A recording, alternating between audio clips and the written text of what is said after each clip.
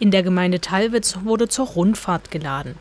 Grund dafür die Nominierung der Kommune als sächsischer Kandidat für den Europäischen Dorferneuerungspreis, der von der Europäischen Arbeitsgemeinschaft Landentwicklung und Dorferneuerung vergeben wird. Bürgermeister Thomas Pöge begrüßte die Juryvertreter im Park Kanitz. Der Wettbewerb läuft in diesem Jahr unter dem Motto Brücken bauen.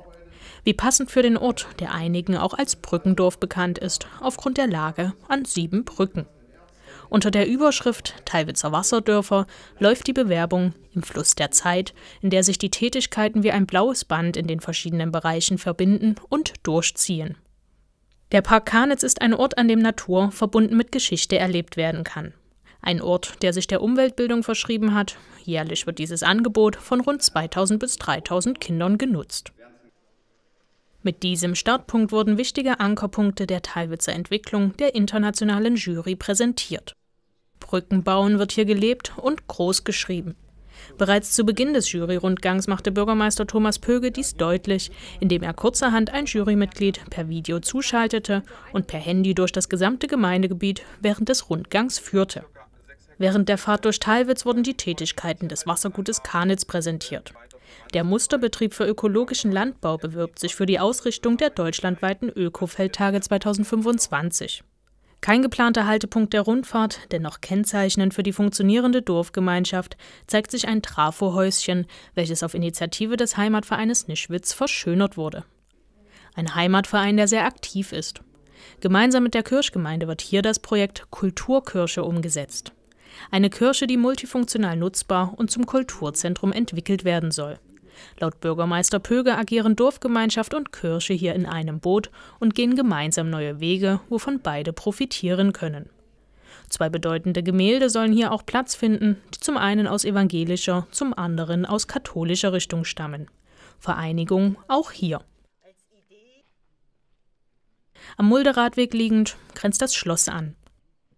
Davor befindet sich die alte Milchrampe, ein damaliges Holzgestell, welches früher Treffpunkt des Dorfes war und wieder werden soll. Vor dem Herrenhaus Röcknitz wurde die Jury vom großen Begrüßungskomitee des Heimatvereines empfangen. Dieser ist mit seinen 84 Mitgliedern ständig in Bewegung, um das Herrenhaus mit Ausstellungsraum und Geoportal sowie auch das Areal mit dem Strukturwandelprojekt Saulis, dem anliegenden Park, Kindergarten und Feuerwehr lebendig zu halten. Die Tanzdiele Röcknitz fand hier ebenso ihren Platz, ein kleines Familienunternehmen, welches für Schwung im Ort sorgt. Auch das Multiple Haus im Ortsteil Böhlitz wurde der Jury vorgestellt. Ein Haus, welches den individuellen Bedarfen der Gemeinschaft angepasst werden kann.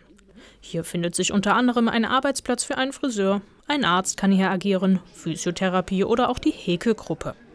Die Räume können flexibel gemietet werden. Ein zukunftsweisendes und beispielhaftes Konzept in dem Talwitzer Ortsteil, der seiner engagierten Dorfgemeinschaft sogar ein Denkmal gesetzt hat.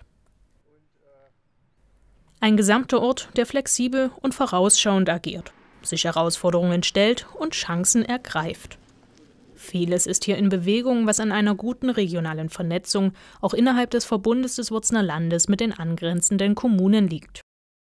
Weitere Argumente für Talwitz als Preisträger im Europäischen Dorferneuerungspreis lieferte Bürgermeister Pöge entlang der Reise. Vorbei an einer Allee, an der 400 neue Kirschbäume gepflanzt wurden, am Ort, an dem ein grünes Gewerbegebiet entstehen soll, vorbei an vielen bewohnten Häusern, denn hier wird bewusst auf Nahverdichtung statt auf große Bebauungsgebiete gesetzt. Vorbei ging es am Gautlitzberg, der bekannt für sein Bergfilmfestival mit Freiluftkino und Kletterwettbewerben ist, und am modernen Campus mit integrativer Kindertagesstätte mit Kinderkrippenbereich, Schule, Sportplatz mit Turnhalle und Kegelbahn. Bis hin zum Heimatverein am Ortskern in Talwitz, der auch an diesem Tag eine seiner vielen Veranstaltungen und Aktionen durchführte. Während auf der einen Seite Kürbisse geschnitzt wurden, präsentierten die Vereinsvertreter auf der anderen Seite ihre Arbeit unter anderem mit der Büchertauschstation. Ein Brückenwanderweg ist eine der Visionen des Vereines, der an der erst kürzlich von der Dorfgemeinschaft neu ernannten Kirschbrücke vorgestellt wurde. Brücken werden hier in Teilwitz viele gebaut, was all die Projekte zeigen, in denen viel Energie und Herzblut steckt, was an diesem Tag deutlich wurde einzigartige und innovative Projekte, von denen sich die Jury überzeugen durfte. Ausgewertet wurde der Rundgang dann im Reußischen Hof, ein Wahrzeichen der Gemeinde, welcher nach Brand und aufwendiger Restaurierung nun im Eigenbetrieb durch die Gemeinde wieder mit Leben gefüllt wird. Die Entscheidung, welche der 21 Kommunen aus zwölf Ländern den Preis erhält, fällt im kommenden Winter. Die Preisverleihung findet im Mai 2023 statt